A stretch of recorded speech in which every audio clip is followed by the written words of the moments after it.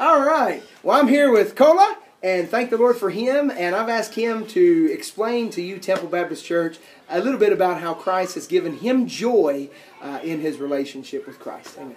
All right, thank you. Yeah, like you said, my name is um, Kola, and um, I'm a member of um, the church.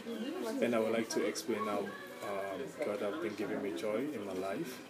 Because I can remember back in the days before I gave my life to Christ, I used to go through a lot of things and wonder and cry a lot about a lot of things. And since I got baptized and um, gave my life to Christ, my life has never remained the same.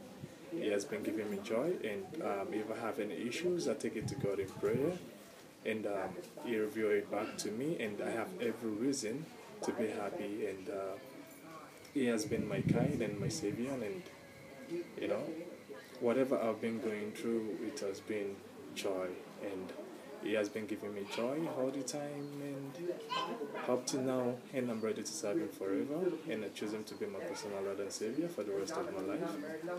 And uh, yeah, so you watching this video, I will advise you the same thing. If you can give your life to Christ, I bet you your life will never remain the same anymore, and it's gonna give you joy and happiness, and you will see the reason to be happy all the time. Thank you.